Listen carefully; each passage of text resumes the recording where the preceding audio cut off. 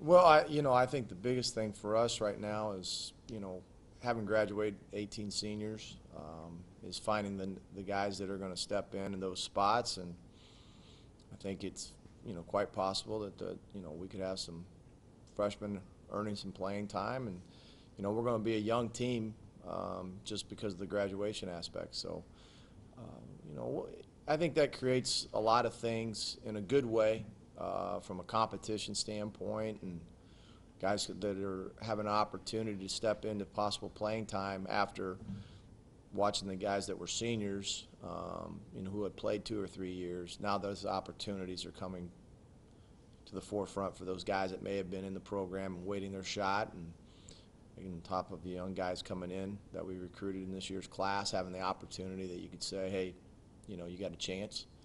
So in that respect, you know, I think it creates a lot of excitement for those guys and, you know, coming out of two weeks of camp here, you know, come out of it pretty healthy and, you know, I think uh, once we get past the day and start tomorrow, we'll get a pretty good idea of who our top 22 on both sides of the ball will be and be ready to play, get started towards trying.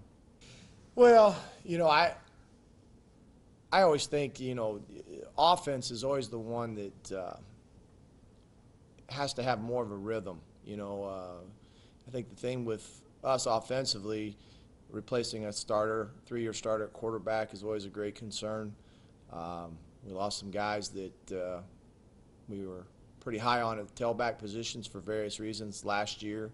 So we're kind of at a question mark as it pertains to that spot. So our offensive backfield is a little bit of a concern. Defensively, you know, I think the biggest thing with defensively is for the offense not to put them in bad situations. If you can create opportunities for the defense to defend a long field, um, you know, the percentages are in your favor that they're, you know, that they're going to be able to do that consistently. So, you know, I'm probably a little bit more concerned offensively than I am defensively if we can make sure that we don't put the defense in bad situations. But, you know, on both sides of the ball, we're going to be young on. There's not uh, one side of the ball that has an edge in experience, so to speak. You know, offensively, we've got four offensive linemen that have played significant snaps last year. So that's the the positive offensively, coupled with a receiving corps that's back.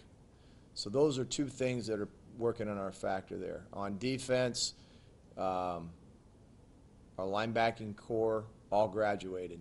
So we lost three linebackers to graduation. So we're going to have three new faces in there. Up front, we've got some guys that are back. Uh, and, um, you know, two of those guys, you know, Fort Wayne guys, uh, Don Campbell from Snider and John Scribner from Carroll, both I think will be uh, forces for us on the inside.